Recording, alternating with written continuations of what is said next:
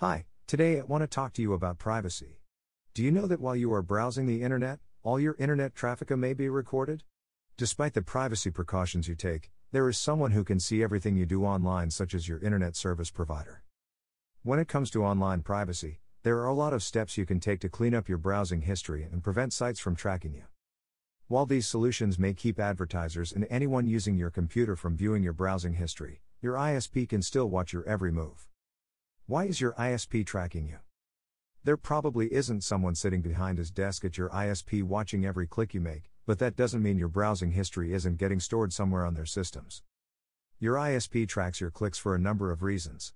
For them, your browsing history is a revenue stream. Many ISPs compile anonymous browsing logs and sell them to marketing companies.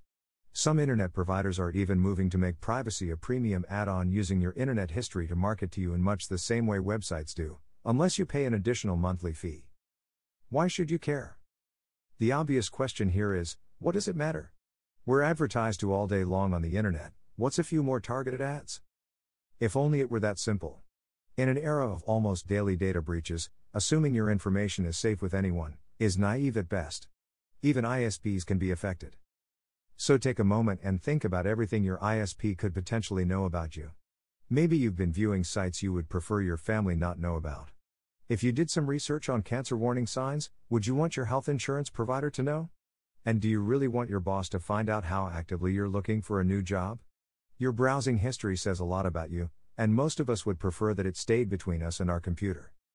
Since your internet service provider stands between you and everything online, you can't completely hide from them. The best you can do is confuse them by covering your tracks. How the Arduino Privacy Automatic Navigator can help?